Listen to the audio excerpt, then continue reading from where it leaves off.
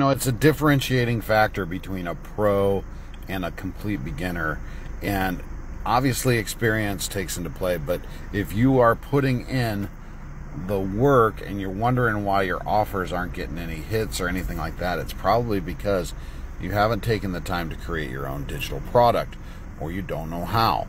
And copying, pasting uh, someone's funnel or lead magnet or anything like that typically requires you to do a lot of extra work uh, because you got to differentiate yourself from everyone else.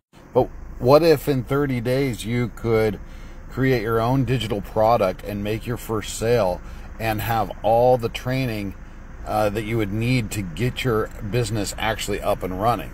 I think that would be amazing. And I think if even if you had a community to connect with, that would be awesome too.